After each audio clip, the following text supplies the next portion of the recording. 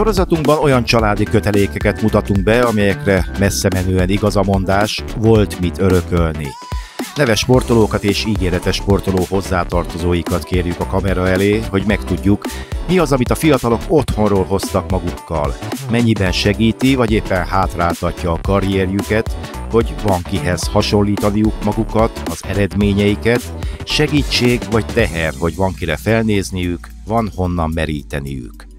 A családban marad mostani vendégei Iván Csikék. A kézilabda válogatottban 169 alkalommal szereplő, olimpiai negyedik és világbajnoki második helyezett, a hazai sportági hírességek csarnokába is beválasztott világválogatott Mihály, a címeres meszt 270-szer viselő, kétszeres olimpiai negyedik, a Veszprém csapatával háromszoros bajnokok ligája ezüstérmes fia Gergő, és korosztályos magyar bajnok, serdülő válogatott unokája Máté.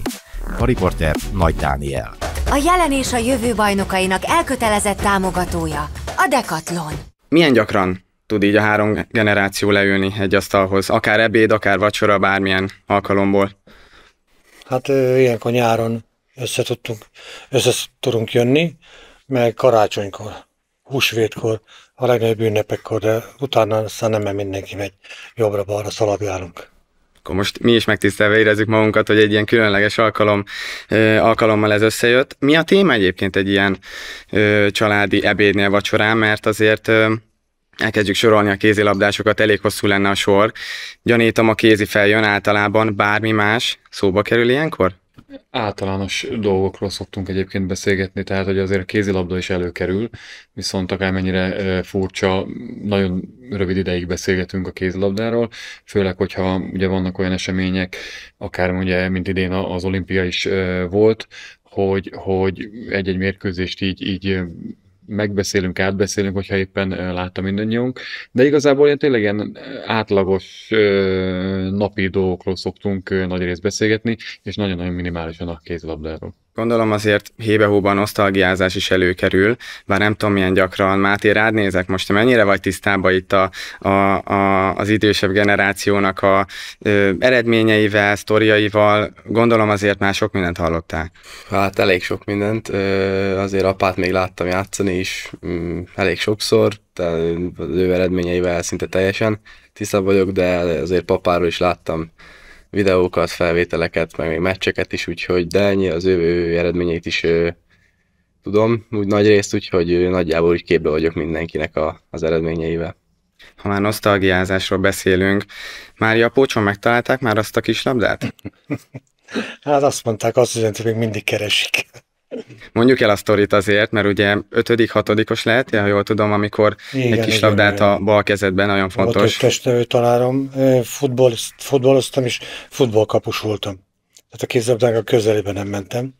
Kis labdadobás volt, odatták bal kezembe, és tényleg akkor átdobtam, hogy meg mai napig is keresik. És így lettem kézilabdás végül is, így lettem rávezetve.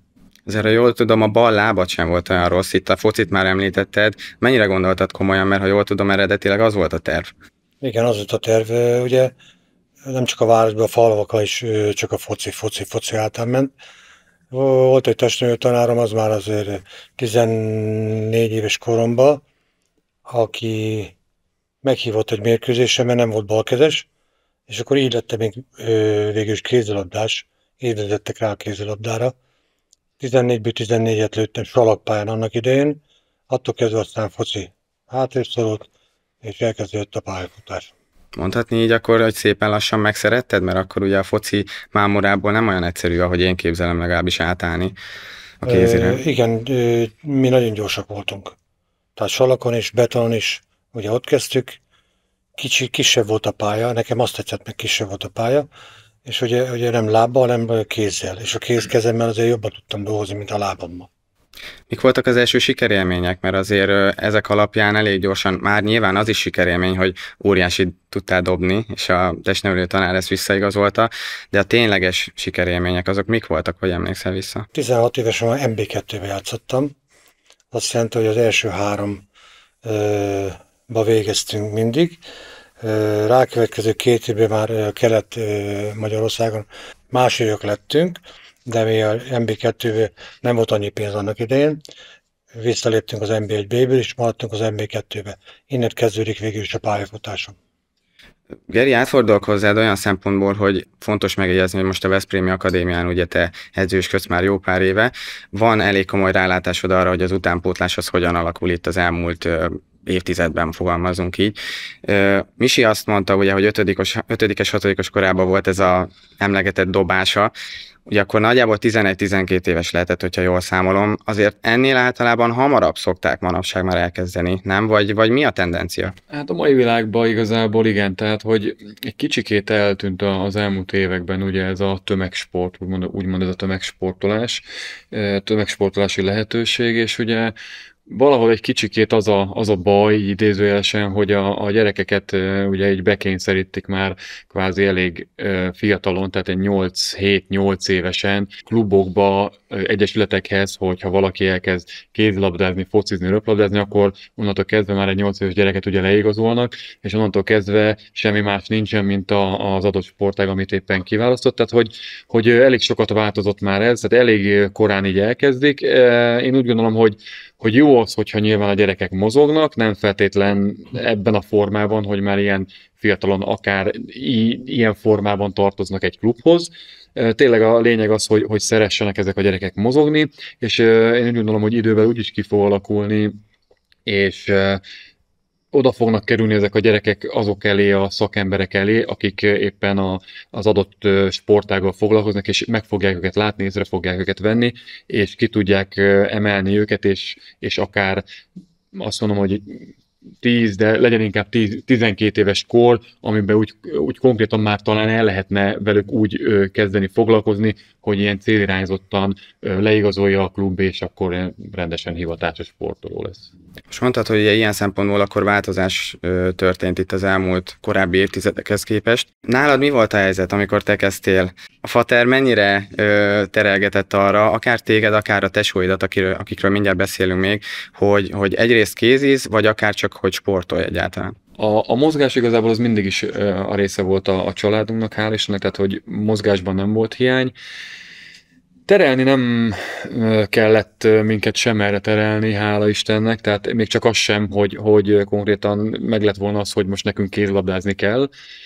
Ez szerintem az egész szituáció hogy adta magát, hogy, hogy amikor Fater ugye játszott még, szinte az összes otthoni mérkőzésen ugye kinnült a család, néztük a, a mérkőzéseket, amikor még nyilván kisebbek voltunk, akkor általában az volt a szokás, hogy labdát kértünk, és a, még az elején nem nagyon követtük így a, a meccseket, hanem inkább mentünk labdázni, de aztán egy idővel egyre inkább ugye érdekessé vált számunkra, érdekessé váltak a mérkőzések, és akkor egyre több mérkőzést kezdtünk el nézni, és aztán igazából így adta az egész magát, hogy így a, a pálya mellett nőttünk fel, néztük is a meccseket, nem is játszottunk is mellette, és valahogy ez, ez, ez így kialakult egy idő után, hogy hogy, hogy mi, mi ebben szeretnénk tevékenykedni.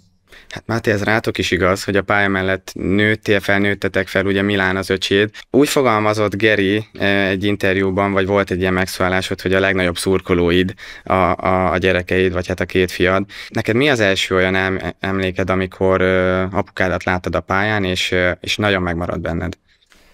Hát nekem nagyon megmaradt például az első Kölni Final Four-ról mérkőzésről így képek, meg a maga hangulat, meg az, hogy, hogy apa ott van, és ugye például egy ekkora csarnokba játszik, de hát ugye én is két-három éves korom óta ott vagyok, vagy ott voltunk ugye meccseken, de szerintem igen, ez a olyan 6-7 éves lehettem, amikor először mentünk Kölnbe, mm, onnan már így vannak emlékek, de onnantól meg azért már ilyen nagyobb hazai meccsekről vannak képek, úgyhogy szerintem ez a Kölni lesz az, ami így az első, elsőnek így beugrik. Volt egyáltalán akkor kérdés, hogy kézi lesz-e, vagy esetleg más? Próbáltál egyáltalán más sportágat? Hát én is még suliba, még az általános suliba, alsóba fociztam, mm, de csak így mm, ott suliban, tehát így egyesületben nem. Aztán igazándiból nem volt nekem se úgy más, én is már szerintem 8, 8 éves koromban elkezdtem, de nem volt úgy, úgy különösebben más. Ugye itt emlegettük már a, a tesóidat neked, Geri, ugye nem megyünk el nyilvánvalóan Tomi mellett, akivel rengeteg éven át ugye együtt játszottatok, ő is ikonikus alakja ott a Veszprémi klubnak, illetve hát ugye Norvég bajnok is például többszörös mellette, Ádámot sem felejtjük el természetesen, aki ugye szintén eljutott a legmagasabb szintig, ugye ő, ha jól tudom, most a tavalyi évben, vagy az előző évadban MB2-ben játszott, szóval itt tényleg mindenki a kézi mellett kötött ki. Hogy emlékszel vissza, milyen tesók voltatok ti? Ment a rivalizálás, vagy inkább ilyen nagyon összetartó volt a hangulat? Nyilván volt rivalizálás is, de nagy részben azt tudom mondani, hogy összetartóak voltunk. Azért mondom azt, hogy, hogy minimális volt a rivalizálás, hiszen bár egymással szembe voltunk ugye az edzéseken, amikor éppen gyakoroltunk, de ugye nem egy poszton. És ezért mondom, hogy egy nagyon minimális volt a rivalizálás, hiszen én az egyik oldalon voltam, a Tomi ugye a másik oldalon, viszont nagyon hamar, hála Istennek megtaláltuk, mind a mellett, hogy, hogy testvérek is vagyunk, tehát elég hamar megtaláltuk találtuk úgy a pályán a közös hangulatot, tehát valahogy ez az elejétől fogva kialakult az, hogy így éreztük egymást a pályán, és nyilván voltak olyan szituációk, amikor, amikor egy automatikusan tudta az egyikünk a másikról, hogy éppen hol van, és csak dobni kellett a labdát, tehát hogy inkább, inkább ez a jó kapcsolati volt meg az elejétől fogva köztünk. Tényleg így volt ez szülői szemmel is? Mm, igen, igen, igen. Gergő mondta, hogy volt egy rivalizálás, de inkább, mint testvérek. Olyan kapcsolatot teremtettek egymással, hogy a jobb szél balszél, mint mi annak idején a nagyetó vagy a kapusunk megfogta a labdát, és oda nézést és eldobta. Ők ugyanígy dolgoztak. Egymást nyitották, úgyhogy tudták, tudta egyik, hol a másik.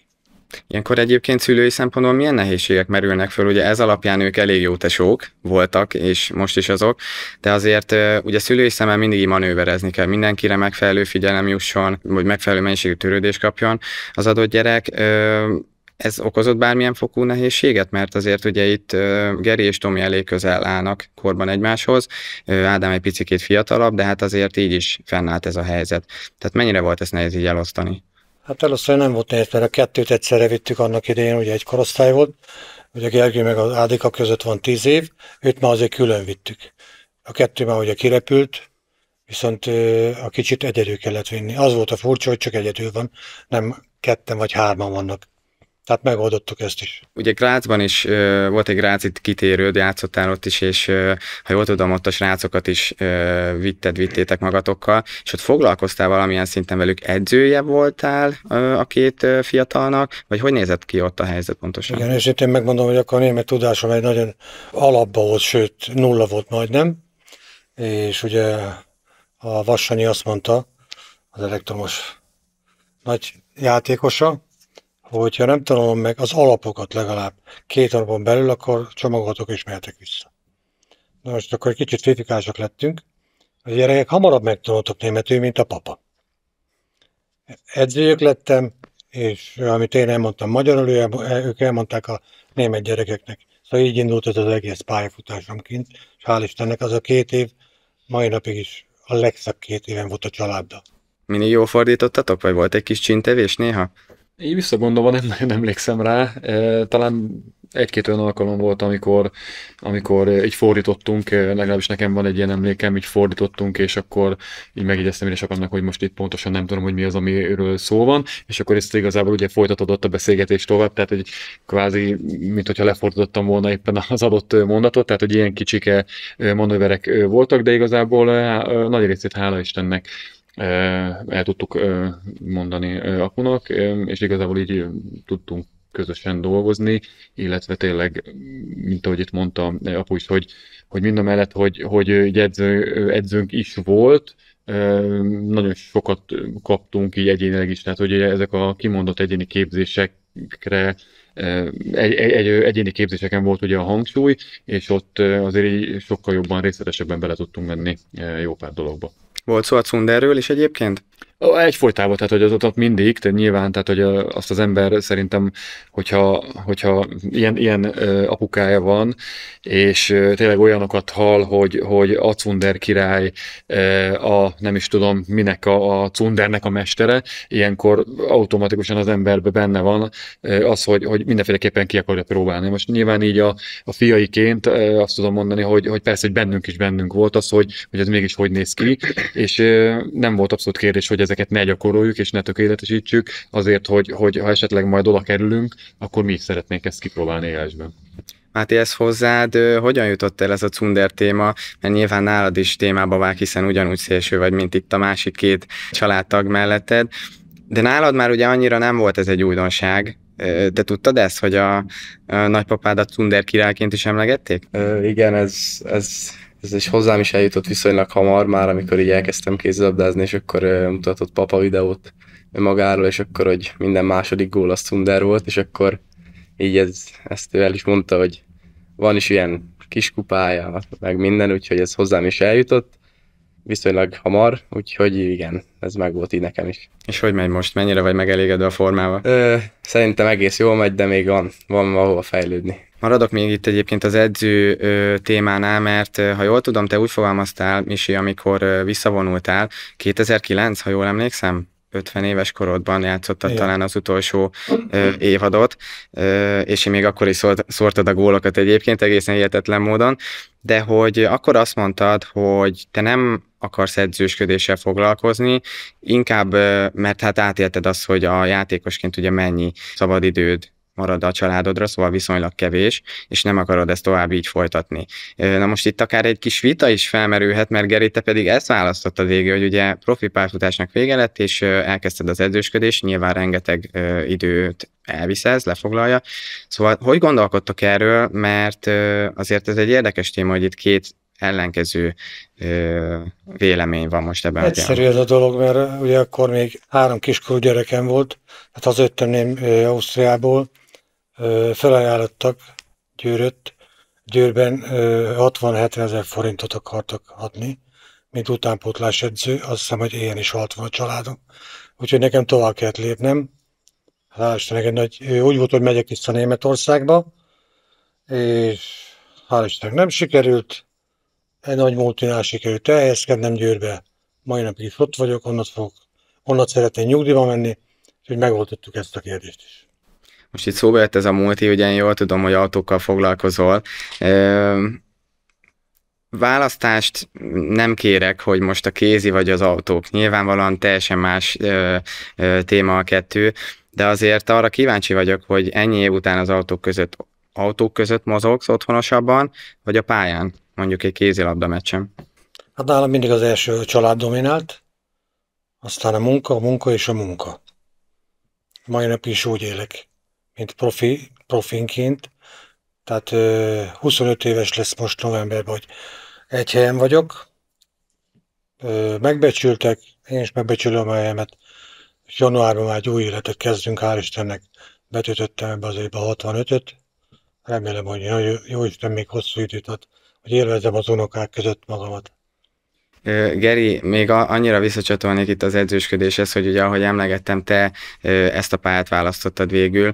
Hogy tudod menedzselni az idődet? Elég idő jut szerinted így is a családra, vagy ez egy elég nehéz megoldandó feladat? Kicsit féltem tőle, hogy, hogy hasonló, hasonlóan fog menni itt a másik oldalon a, a, az életem, illetve az életünk, de aztán hál' Istennek eh, én legalábbis úgy érzem, a kedves feleségem szerint nem, tehát ő annyira nem érező különbséget, mint amikor játszottam.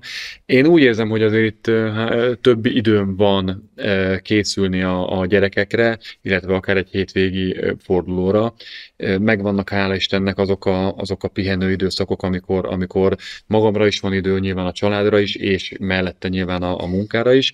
Tehát én, én inkább úgy érzem, hogy a, a, a kézilabda sokkal több időt elvett, tehát amikor ö, még profi profin kézilabdáztam, és viszont itt a másik oldalon itt edzőként itt is megvannak a, megvan a maga szépsége, megvannak a, a, a kihívások, ami nagyon-nagyon jó, viszont talán egy kicsikét lájtosabb a, a, az elmúlt 20 több mint 20, 20 év kézlabdához képest, úgyhogy, úgyhogy, úgyhogy megvan, a, megvan a, a pihenő része is, és, és megvan tényleg a, a, a munka is mellette. Mi a helyzet a többi unokával? Róluk sem szeretnék megfeledkezni, hiszen ugye itt Milán szintén már fogott a kezébe labdát, hogyha jól tudom, illetve hát ugye Tomi oldaláról két lány van, ott is az egyik már a kézilabdát Most már mind a gyakorolja mind a ketten? Mert én még egy balett témánál maradtam. Balett az a multi, úgyhogy a, a, a nagyobbik átsábította a kicsit, úgyhogy együtt mennek, együtt jönnek. És mi a helyzet velük? Mit kell róluk tudni? Mert azért ők ugye még Máténál is fiatalabbak. Milán mennyire bontogatja a szárnyait? bontogatja, hál' Istennek. Hát amit érdemes tudni róluk, hogy nagyon könnyű nekik ajándékot venni, bármikor, bármiről legyen szó, hiszen elég csak egy labdát venni, és, és mindenki örül a labdának. Ő is éppen most az U10-es korosztályban van, úgyhogy nagyon élvezi, hála Istennek, nagyon szereti csinálni, és mondtam, hogy ez a két dolog a lehető legfontosabb, és innentől kezdve majd is ki fog alakulni, hogy hogy merre tovább. És Tomi esetében a lányoknál mennyire furcsa, hogy most már lányok fognak a kezükbe labdát, labdákat? Hát én azt mondtam, hogy ez a szakma, ez a szakma az Iváncsik nevet egy darabig nem fogja elfelejteni, mert hál' Istennek van utánpótlás. Ha az ötből már három ott marad, már az is nagy öröm lesz mindenkinek, azt hiszem. És ügyesek egyébként szakszemmel? Mert azért ilyenkor már lehet Senki nem erőlteti el se az édesapjuk semmi. Én is játékosan tanítom őket, mint az én fiaimat tanítottam, vagy az unokámat. Tehát őket is ugyanúgy tanítom, hogy észre se veszik. Dobáljuk a labdát így, úgy, amúgy, és ők, ők veszik a lapot. Tehát ugyanúgy csavargatják, conderezgetnek. Tehát játékosan tanítom őket. Babonák kapcsán nagyon kíváncsi vagyok, mert általában sportolóknál, sportolóknál ez mindig egy nagyon érdekes téma, és a legtöbbeknél van. Máté, téged kérdezlek először, nem véletlenül. Nálad van-e olyan kialakult szokás babona, ami mondjuk meccsek előtt, akár meccsek közben nem elfelejtető. Ezen más én is gondolkodtam, hogy meg, megkérdezték többen is, hogy van-e, még nincsen ilyen se meccs előtt, se meccs közben ilyen szokás vagy, vagy tevékenység, amit mindenképpen meg kell csinálnom. Próbáltam már én is ezen gondolkodni, hogy van-e esetleg olyan, amit minden meccs előtt úgy csinálok, vagy mind meccs közben, de még nem, nem, nincs olyan egyelőre. Misi, neked volt valami? Igen, nekünk a válogatottnál kötelező volt a fáslizás, ha sérült voltál, ha nem. Nekem az volt a mániám, hogy két pár ö, fáslit vittem jobbra, jobb lábon és a bal lábon is. És bevostok mint a katonaságnál, zoknival, alsógatjával, és az mindig nekem ott volt, készen. Kimentem, bejöttem, valaki hozzányúlt, meg tudtam örülni. Volt ilyenre is példa? Nem, mert nem mert senki hozzányúlt. Geri, nálad is tudok egy babonáról, de ez egy kicsikét eltérő a Misihez képest. Ha jól tudom, te minden meccs előtt felhívtad édesapádat, hogy beszéljetek. Mi volt ennek az oka? Megmondom hogy nem emlékszem, hogy ez miből, miből alakult ki. Szerintem amikor, amikor eljutottam arra a szintre, a kézlabdában, hogy egyre többet ugye e, utazgattam, e, és automatikusan így ugye jött az, hogy nyilván lejelentkeztem, hogy megérkeztünk képségben, itt vagyunk, e, ebben meg ebben az országban. Egy idő után azt vettem észre, hogy, hogy ezek mellett a mérkőzések előtt csak így automatikusan az, hogy halljam édesapámnak a hangját. Nyilván röviden tömören, hogyha éppen dolgozott, vagy nem volt annyira ö, ott úgy képben, hogy most éppen hol vagyunk, vagy éppen, hogy ma ö, BL meccsünk van például, akkor, akkor igazából csak annyit, hogy most nem tudom, kim vagyunk Spanyolországban, nem sokára játszunk, csak azért, hogy nyilván így elmondjam neki is, meg az, hogy maga, hogy halljam a hangját. Tehát, hogy igazából ez így valahogy így az idő, egy, egy az idő folyamán kialakult, és akkor azt vettem észre, hogy akár hazai környezetbe, akár, akár külföldönre mentünk játszani, automatikusan mielőtt kiértünk a, a csarnokba, akkor egy jó nem tudom, két-három órával a mérkőzés előtt, még mielőtt ugye bementünk volna az öltözőbe öltözni, akkor fogtam a telefont és, és telefonáltam. Hát több száz ilyen hívásról beszélünk. Melyik a legemlékezetesebb? Van olyan, amelyik így egyből beugrik? Igazából nekem mindegyik emlékezetes, mert ugye nagyon fontos volt az, hogy, hogy miután ez az egész kialakult, ahogy mondtam, hogy, hogy felhívtam és hallottam a hangját, és, és tudtam azt, hogy ott van velem. És az meg ugye egy plusz motiváció volt mindig számomra, amikor például el tudtak jönni hazai mérkőzésre, és, és ugyanúgy hallottam azt, hogy, hogy, hogy bekiabálnak a pályára, tudtam azt, hogy ott vannak a lelátón, szurkolnak nekünk, tehát nyilván az egy még nagyobb motiváció, de, de maga az, hogy, az, hogy minden mérkőzés előtt hallottam a hangját, és, és tudtam azt, hogy ott van velem, és igazából ez, ez adott nekem mindig erőt minden mérkőzésen.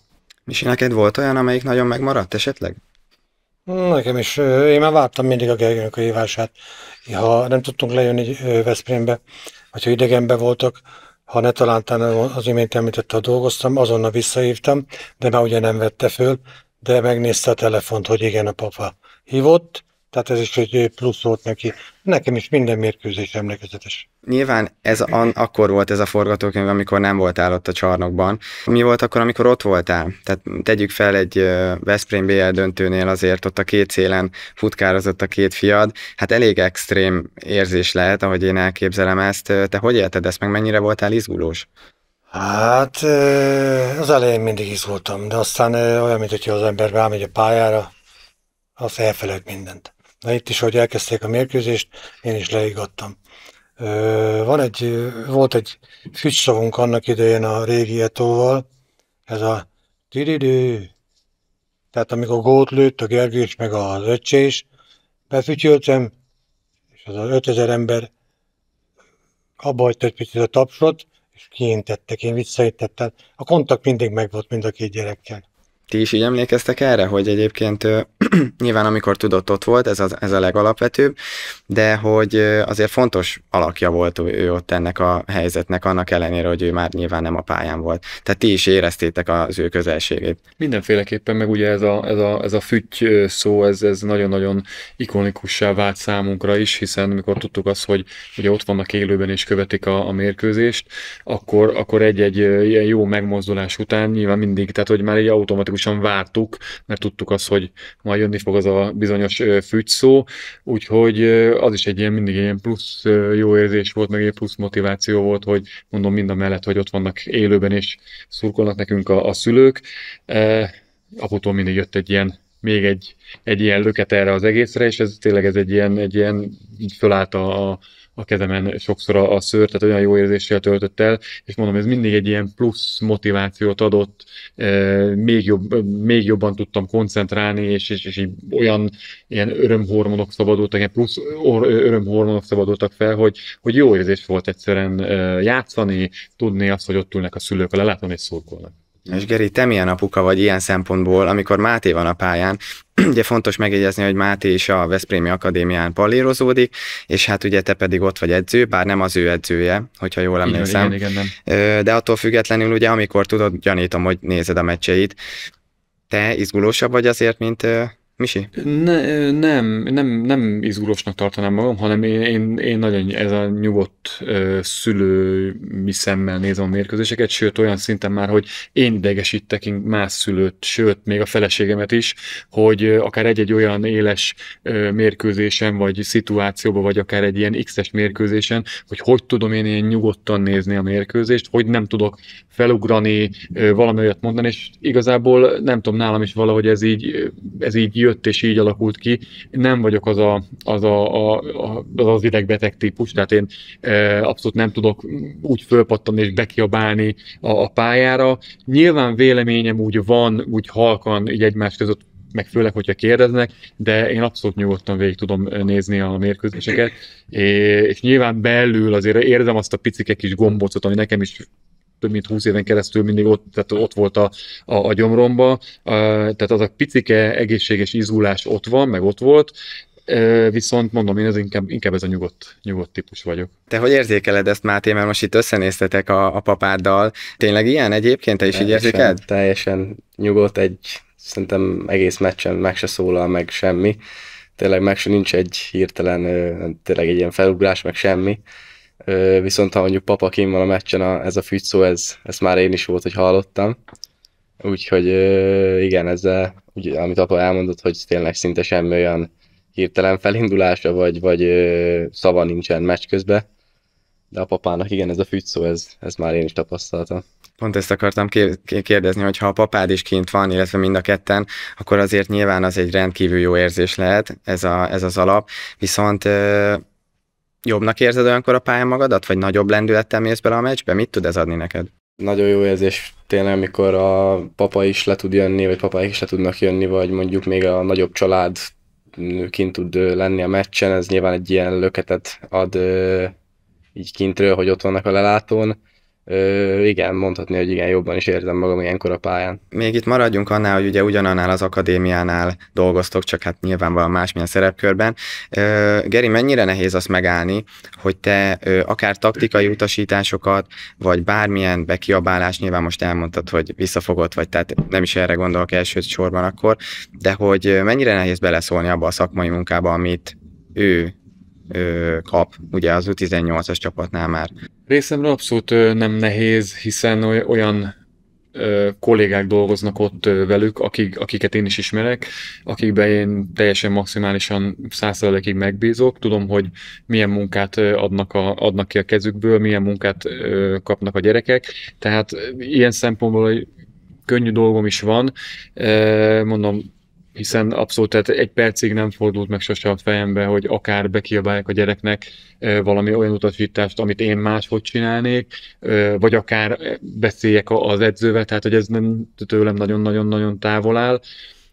Úgyhogy ilyen szempontból igazából könnyű ezt kezelni. Szoktunk a, az edzőkkel beszélgetni néha-néha adott szituációkról, de ott is inkább, inkább úgy, hogy én őket meghallgatom, elmondják a véleményt. Nyilván van, hogy én is mondok egy véleményt, de ezt most nem feltétlen, sőt nem is úgy, hogy, hogy most akkor ezt kéne csinálni, és nem is úgy beszélgetek ott velük, mint szülő, hanem tényleg, mint edző kolléga, és igazából ez valahogy ilyen, ilyen könnyen, nagyon könnyen tud ö, ö, működni.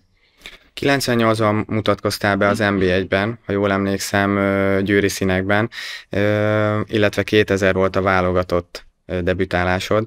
És te hogy emlékszel ezekre vissza, mert nyilvánvalóan Gerinek óriási mérföldkő volt ez a pályafutásában, neked óriási büszkeség, ahogy elképzelem. Hogy emlékszel vissza, azért nem tegnap volt már ez.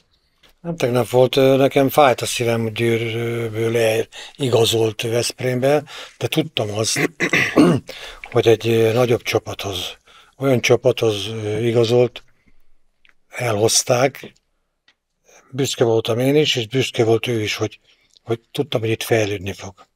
Tehát Győrbe kicsit lement a kézilabda, általunk mi, mi szépen abba hagytuk, ugye, hogy tudatosan vagy nem tudatosan tönkrevágták, szerintem tudatosan vágták tönkre Győrbe a kézilabdát, de ez más kérdés. Annak örültem, hogy Veszprémbe került. Tudtam, hogy itt nagyon sok mindent el fog tudni érni, hál' Istennek csúcsra jutott. Szintén maradok a debütálásoknál. 2023 vége, december, serdülő válogatott Máté, te akkor léptél először pályára, négy góllal mutatkoztál be a szlovákok ellen. Geri, te hogy emlékszel arra vissza? Most is kiráz egyébként a hideg, mert olyan, olyan jó érzések ezek egyébként. Hát én úgy emlékszem erre vissza, hogy, hogy még egy picikét visszamegyek, hiszen mint szülő, én vagyok az egyik, aki kapom az e-mailt, többek között ugye a válogatott behívókról, és, és ez borzasztó jó érzésekkel töltött el, amikor, amikor olvastam az e-mailt, hogy, hogy a, a, a gyerek be van hívva a válogatottba, és nyilván utána gyorsan küldtem is neki tovább, hogy ő is, ő is tudja róla. Minden hogy tudom, hogy ők is megkapják ugyanúgy az e-maileket, de, de az borzasztó jó érzés volt, amikor, amikor ott látom a, a névsorban a nevét, és, és, és igazából ugyanazok a, az emlékek jöttek fel bennem is, amikor én gyerek voltam, hogy, hogy ugyanígy történt, csak akkor még ugye nem e-mail formájában, hanem ugye postajuton és így papír formájában, de igazából sok mindenben így nem változott. Az, hogy látom a névsort, ott volt a nevem, itt ugyanaz, látom a névsort, ott van a gyereknek a neve, és ez óriási ö, büszkeséggel töltött el, és akkor utána mellette nyilván, amikor még meg is tudtuk nézni a mérkőzéseiket, ez egy óriási élmény volt. Melyik nagyobb büszkeség, ö, amikor Iváncsi Gergő nevet olvastál annó, vagy amikor Iváncsik Máté nevet olvasol most serdülő kapcsán? Mind a kettő máshol. Tehát mind a kettő más. Nyilván akkor én arra büszke voltam arra, volt egy célom, büszke voltam arra, hogy, hogy látom a nevemet, gondoltam azt, hogy valamit biztos jól csinálok. Most nyilván, amikor olvasom a gyereknek a, a nevét, akkor arra gondolok, hogy jó úton halad, és, és valamit, valamit ő is jól csinál, úgyhogy mind a kettőnek meg, meg volt a, meg megvan a varázsa, tehát nyilván akkor, amikor az én nevemet olvastam, meg amikor a, a gyereknek a nevét olvasom, de azt mondom, hogy ha, ha választani lehet, akkor nyilván sokkal nagyobb büszkeség az, hogy, hogy a, az ő nevét olvasom. Máté, ugye neked azóta már volt jó pár meccsed a serdülő válogatott színeiben, de nyilván, vagyis hát ahogy én tippelem, talán ez a legemlékezetesebb, vagy a legizgalmasabb, amikor ugye ez a debütálásod volt. Hogy emlékszel vissza egyrészt arra a mérkőzésre, mert gondolom extázis lehetett, úgy képzelem, illetve hát azért ugye az se semmi, hogy ugye az Iváncsik név van a hátadon, egy kis teherrel is járhat ez, vagy, vagy nincs igazam? Nagyon-nagyon jó szívvel emlékszek vissza erre a mérkezésre, és ráadásul, hogy nem gyakran tudnak papáik kínálni, de ráadásul pont Győrbe volt ez a meccs, úgyhogy papáik is ki tudtak jönni. Ez, hogy tehere a név, valahol igen. Sokan mondják, hogy biztos egyszerűbb így, hogy, hogy Iváncsik névvel vagyok, vagy tehát, hogy ez van a, a mezemen, meg hogy így hívnak, de de valahol ez teher is, de én nem próbálom meg nem, próbálom nem teherként élni meg, hanem, hogy nem előnyt kovácsolni ebből, hogy, hogy ez, a, ez a nevem, úgyhogy kis tehernek mondhatni, de, de ezt próbálok ezzel nem foglalkozni. Plusz motiváció, tehát egyébként, mert ugye most uh, nyilván neked ez a motiváció, hogy rácáfolj azokra, akik esetleg uh, uh, ilyeneket szóba hoznak, hogy na ő csak azért van bent, mert hogy Iváncsik. E, nyilvánvalóan ezt ugye a korosztályos csapataidban megmutattad, hogy nem véletlen, de ad plusz motivációt? Igen, ad, ad mindenképp, meg hát az is motiváció, hogy amit papa is, meg apa is elért, hogy hát azokat valahogy megpróbálni elkezdeni és elérni hasonló eredményeket, úgyhogy igen, ad plusz motivációt. Nyilván azt emlegettük, hogy Milán nagyon fiatal még, nála még bármi lehet, de ő is elindult egy bizonyos úton. Máté, te gondolkozol-e esetleg azon, hogy valamikor a jövőben majd egy pályán legyetek, mert hát ugye azért az se lenne semmi, hogyha ezt meg tudnátok ismételni, hogy ismét akár a Veszprém színeiben két Iváncsik szalad a pályán. Gondolkodtam már ezen, igen, sőt már beszélgettem is vele erről, hogy majd ha, ha már ő is nagyobb lesz, meg majd nagyjából már mindketten a, esetleg a felnőtt mezőnyben leszünk, akkor igen, hát biztos, hogy óriási élmény lenne, vagy lesz, reméljük, hogyha bármilyen csapatban egyszer tudunk egymás mellett, vagy egymás mögött, akár ugyanazon a poszton, vagy különböző poszton játszani, reméljük egyszer megadatik. Ennél a testvér kapcsolatnál maradnék még, mert uh, ugye ahogy már emlegettük, számos évet lejátszottatok úgy Tomival, hogy a két oldalt vittétek a hátatokon.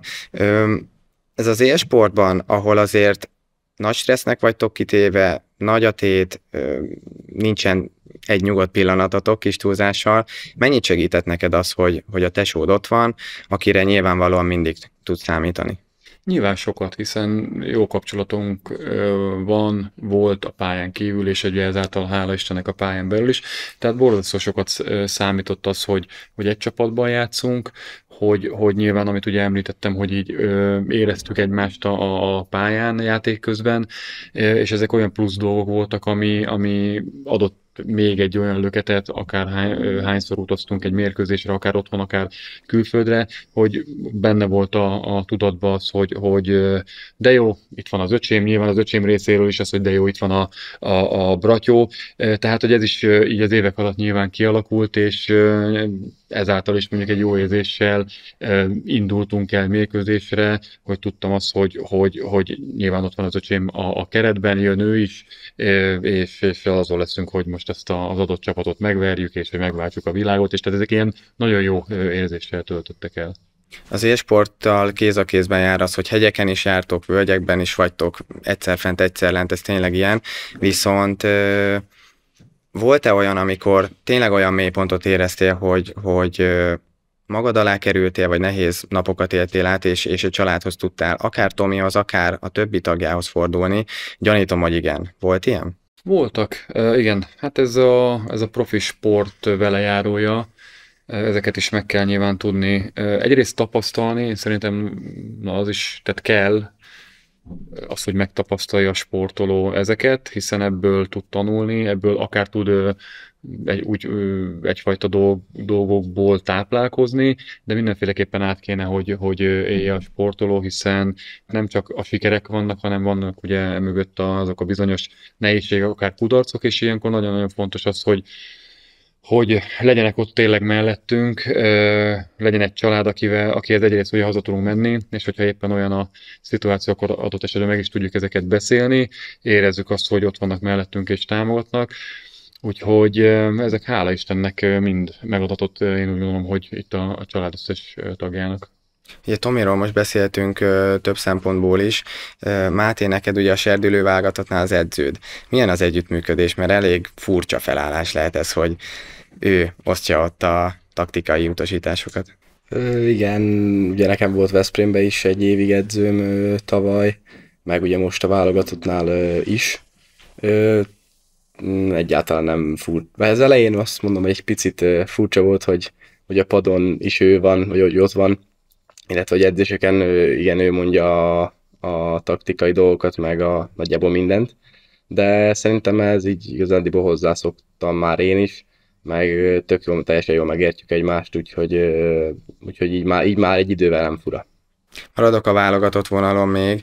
Ugye Misi az esetedben azért nagyon komoly eredményekről tudunk beszámolni, itt a másik két részvevő esetében is, de hát most rólad lenne szó, ugye világbajnoki második helyzet vagy, amit nem tudom, mennyire szívesen mesélsz az unokáknak.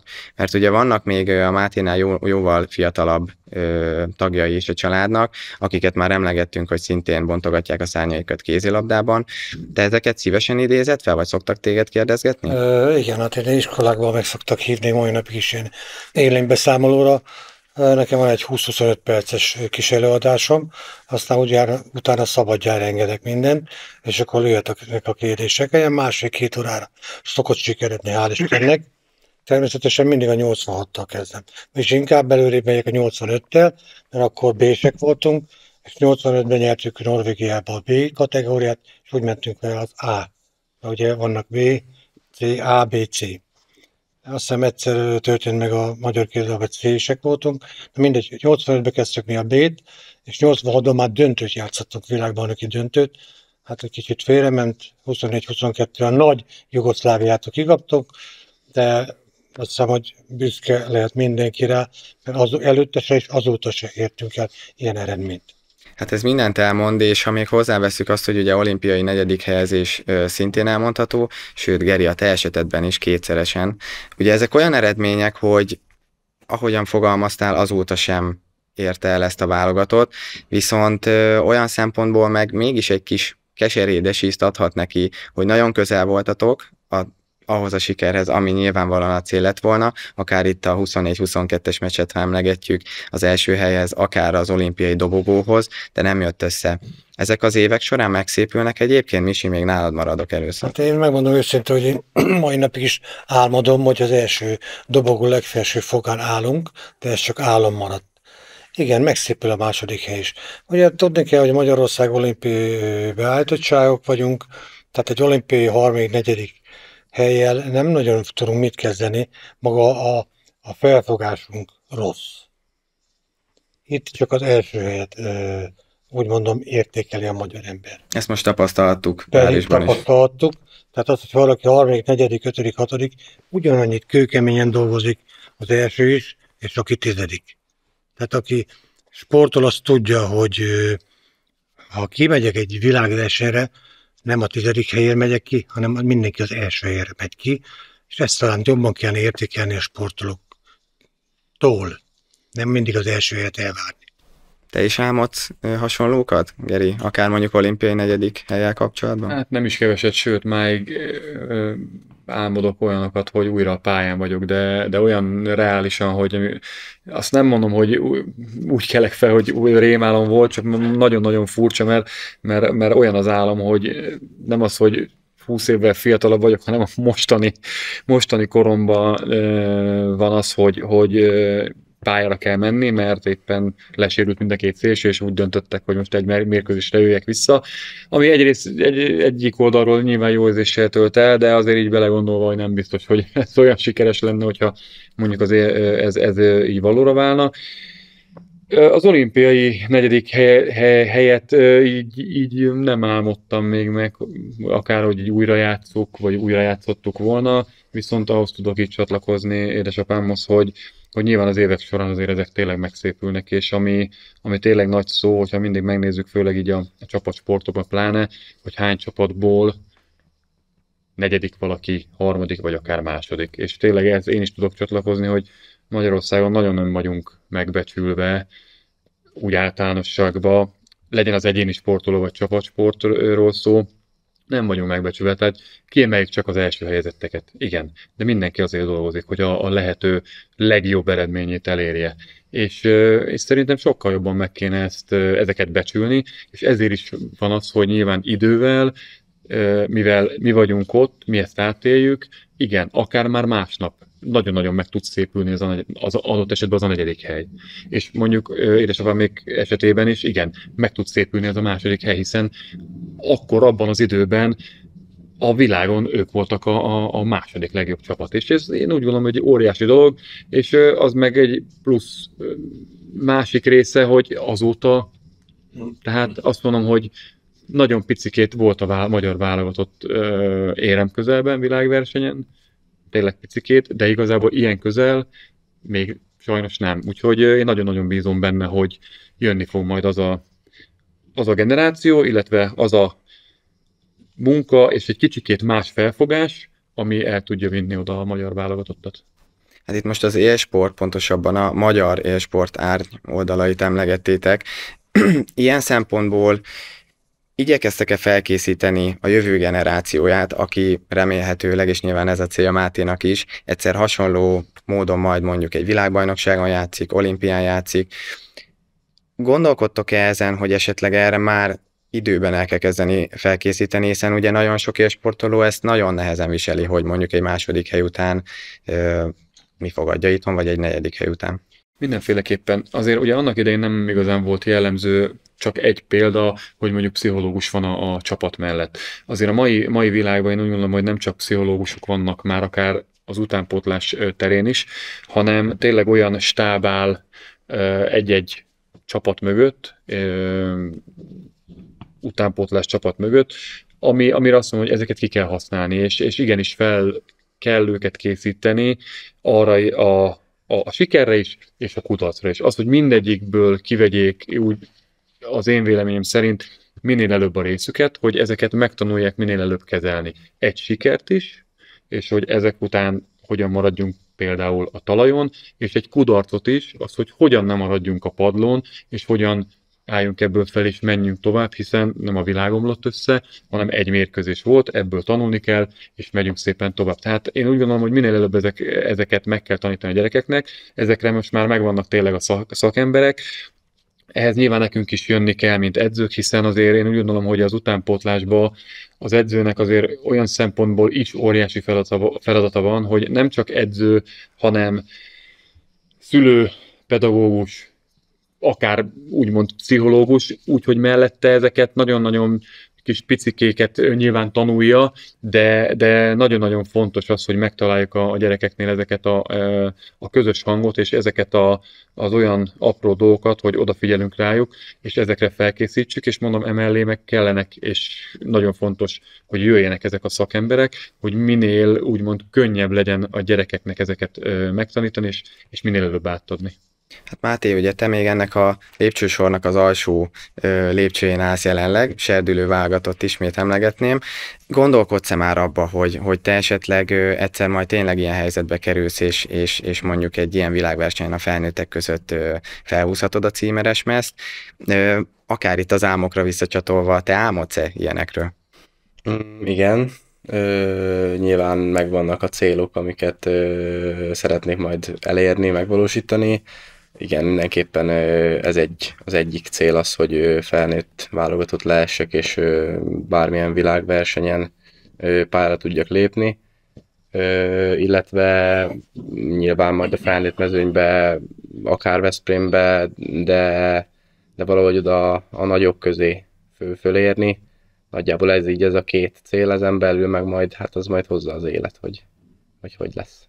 15 éves vagy még, szemtelenül fiatal. Gondolom, hogy azért a kézilabdán kívül is van élet, ugye tanulás, illetve mondjuk a hobbik. Mit kell tudni Iváncsik Mátéról, amikor nem kézizik? Hát igen, a tanulás nyilván az, azt, azt, azt, csinál, azt csinálom, és azt csinálni is kell.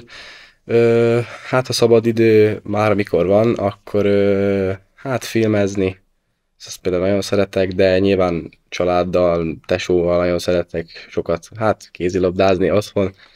de igen, családdal, nagyszülőkkel, unokatesokkal is sokszor vagyunk hétvégente, de például én most a filmezést tudnám így említeni, ami mondjuk így egyedül, amit így egyedül szoktam csinálni. Lehetséges, hogy Geri tőled örökölte? Nagy film és sorozatrajongó vagy, ezt tudom. Igen. Ez volt bi- valamilyen ráhatás itt? Ez biztos, hogy tőlem jött egyébként, elképzelhető, tehát hogy nyilván minél kisebb a gyerek, annál könnyebb ugye megtanítani, meg rászoktatni bizonyos dolgokra. Ez nyilvánvalóan tőlem jött, ez is valahogy az idővel így kialakult, most ezt nem azt akarom mondani, hogy nyilván egy-két évesen odaültettem a tévél, és akkor na most kötelező megnézni akár bármilyen ö, ö, mesét vagy filmet, de valahogy ez is igen kialakult, tehát hogy valószínűleg láttam Máté azt, hogy én mennyire kedvelem a, a, a filmeket, és, és valahogy nála is jött az, hogy, hogy, hogy megszerette a filmnézést, és azért mondjuk én még ide csatolnám a, a moziba járást, most nem azt mondom, hogy minden héten kétszer-háromszor, de egy kedves ismerősével azért elszoktak egy kicsikét többször járni moziba, mint a keletén, tehát ez, ez is a hobbiai közé tartozik. Jó barátok, neked is megy? No. Hát, ha most nem lehet megszámolni, szerintem itt az összes kézen, hogy hányszor néztem végelejétől a végéig a sorozatot, úgyhogy megy nagyon. Miért pont az egyébként az egyik kedvenced, ha jól tudom? Igen, igen, igen. Nem tudom, tehát hogy igazából nem tudom én sem megmondani, hogy hányszor néztem meg a feleségemmel, illetve még akár barátokkal is oda-vissza, de szerintem ez is valahogy úgy alakult ki, hogy, hogy nyilván látta a gyerek, hogy, hogy mi ezt mennyire kedveljük, és lehet, hogy egy kicsikét furcsa, mert ugye nem mostanában volt ugye ez a, ez a sorozat, viszont én úgy gondolom, hogy így 20-30 évvel később is tudnak olyan aktuális dolgokat mondani, akár a mai fiataloknak, ami, amiket nyilván ők megértenek, és akár még tudnak rajta mosolyogni is, és igazából valószínűleg ez történt a, a, a Máténál is, hogy, hogy mind a mellett, hogy megszerette a, a hat szereplőt, ö, átjönnek azok a párbeszédek, azok a poénok, és, és valahogy lekötötte őt is, és ezáltal így a kedvencévé vált. Maradunk még a hobbiknál, Misi, neked ö, azt tudom, hogy örökmozgó vagy, sport ö, szerelmes. a visszavonulásod után ö, elkezdődött-e végül a kispályás foci? Mert ha jól tudom, volt ilyen terv. Vagy akár egy teke bajnokság, bármelyik. Nem, maradtunk a kézilabdánál. Nem tudtál elszakadni? Nem tudtam, hál' Istennek elszakadni tőle. Budapest öreg fiúk, Old Boys. A Rév Bandi barátom, igazgató úr. 45 évesen meghívott, és a mai napig tartozom, és munkámból kifolyólag nem tudtam elmenni ebbe az évben a világkupára és az Európa, Európa kupára, kupára. Úgyhogy ebbe az évben, hogy jövőre lesz a 65. év betöltöttem, egy búcsú meccset megígértem, aztán tényleg szögragasztom a cipőmet. Ott lesz a vége? Az lesz a vége. Biztos? Biztos el lehet tudni az ha csak, esetedben. Ha csak nem ilyen bemutató ö, dobásokra meghívnak, azt még beválom, de többet már nem. Nem akarok szétszakadni, tehát eddig hál' Istennek sikerült megúsznom két ortörössel a pályafutásomat, ezzel be is szeretném fejezni. Ha már itt ilyen bemutató meccsek, gála meccsek, azért nem egyszer előfordult már, ha jól tudom, hogy az összes Iváncsik ott volt a pályán egyszerre. Nem semmi, azért egy, több mint egy csapatot kitesztek most már, szinte, hogyha úgy, úgy szám, ha jól számolom. Milyen érzés együtt a pályán lenni még akkor is, hogyha nincsen igazi tétje, hanem örömjátékról van szó? Leírhatatlan. Tényleg, ami, például apa búcsú meccsét tudom itt felhozni, amikor ö, apa, Ádi, Tomi, már akkor a papa is, és még a végén én is, és hát a Milo még nagyon pici volt, de még ő is bejött a pályára, tényleg szinte kitettünk már egy teljes sort, talán csak a kapus hiányzott, de lehet, hogy még az is, annyian meg is voltunk, úgyhogy tényleg nagyon, nagyon jó, még így is akkor is csak egy gála az, az, a, az a mérkőzés. Neked, Geri? Hát teljesen mindegy milyen formában, de az, hogy ott vagyunk így együtt, tehát, hogy ától zéig ott az egész család a pályán, ez igazából, tehát egy leírhatatlan, tehát ezt, ezt át kell érezni, és hál' Istennek ez, ez nekünk megadatott, meg, meg is adatik, úgyhogy, úgyhogy borzasztóan jó érzés, akárhányszor vannak ilyen, ilyen akár jótékonysági mérkőzések, akár ilyen gála mérkőzések. Nagyon jó, hogyha ott tudunk mindannyian lenni, és, és ez újra és újra óriási örömöt tud okozni, hogy ott vagyunk együtt a pályán, és akár ilyen buli szinten, de tudunk egyet úgymond ugrálni, bóckodni, szórakoztatni a közönséget, hiszen igazából ez volt a, meg ez az életünk, tehát máig, úgyhogy ez egy hatalmas nagy élmény és boldogság. És itt úgy fogalmaztál a beszélgetés elején, hogy ha rangsorolni kell a legfontosabb dolgokat, akkor a család verhetetlen az első helyen, ami abszolút érthető, majd munka, munka, munka és munka. Neked melyik volt a legszebb, legszebb emléked, ami így a kézjelzés a családhoz köthető? Ez amikor mondjuk a Gerinek volt búcsú meccse, a Tomit is ugye nagyon szépen elbúcsúztatták, illetve hát mondjuk neked, amikor a nem mellékesen a hírességek csarnokába beválasztottak, szintén ott voltak a, a, az utódok. Lehet ezek közül választani, vagy milyen élmény ilyenkor ott lenni a csarnokban? Mm, nem, nem lehet, ez, ez mind összességében zárnám az egészet. Ez, ezt, ezt átélni, megélni. Én mindenkinek csak azt kívánom, hogy az fiai, az gyerekei, az unokái, hogy ilyen örömö, öröme legyen benne, mint nekem van. Meg úgy olyan család vagyunk, aki összetart, és amikor meglátjuk egymást, akkor nem sírunk, hanem nevetünk. Tenni ezt a végszót én nem tudnék elképzelni, úgyhogy rengeteg hasonló élményt kívánok még nektek. Mátét majd érdemes lesz figyelni a folytatásban, sőt a kisebb unokákat is. Még egyszer nagyon köszönöm, hogy itt voltatok, és további sok sikert minden téren. Köszönjük szépen! A jelen és a jövő bajnokainak elkötelezett támogatója a Decathlon.